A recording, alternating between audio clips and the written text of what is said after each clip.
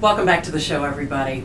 Hurricane Sandy's immediate impact on the real estate market and the very hard hit Northeast is already painfully evident from certain neighborhoods in coastal New Jersey to the neighborhood of Breezy Point in Queens, which was absolutely leveled after the storm. And the latest natural disaster is not going to just affect certain zip codes, it's going to have an impact on the housing market in general in this country.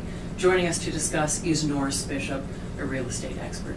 Good morning, Norris. Good to see you. Good morning. Good to see you. So, what impact do you think that Sandy will have on the housing market and in the recovery that we've been enjoying the last few months? In the short term, there's going to be a lot of disruption, and that's definitely going to be negative. But I think in the long run, uh, you're going to have redevelopment in a lot of those areas, and that's going to be a positive thing. Well, that's good for our viewers to hear because people are feeling so negative about this right Absolutely. now. We need some good news. We do.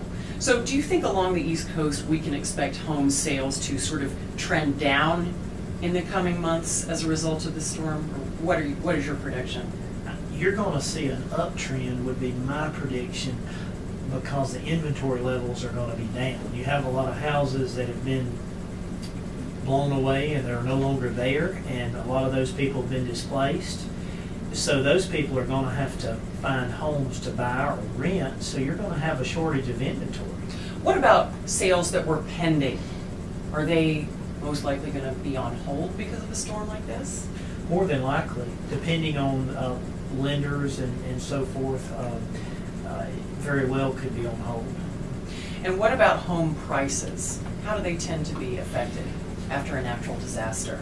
Home prices are typically going to trend upward on the existing homes because the houses that are wiped out are no longer available. So you've got more buyers and less inventory. So that's naturally going to drive prices up. Mm-hmm.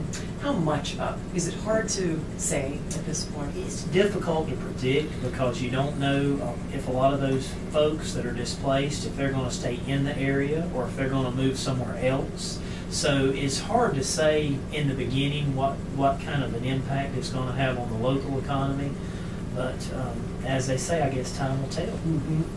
So, in your experience, you, know, you operate out of South Georgia, which is certainly no stranger to natural disasters. What are the trends that you have seen just in your own area in terms of people? Do people want to go back to the same area? Do they want to make a fresh start somewhere else? I think it depends. Uh, if you've got someone that uh, is been really devastated, it's wiped their home out. Uh, a lot of those people may want to just go back and start over somewhere else. Uh, back when Hurricane Katrina was in um, Louisiana, we had a lot of people transition over to South Georgia, so they moved outside of the area that they were living in.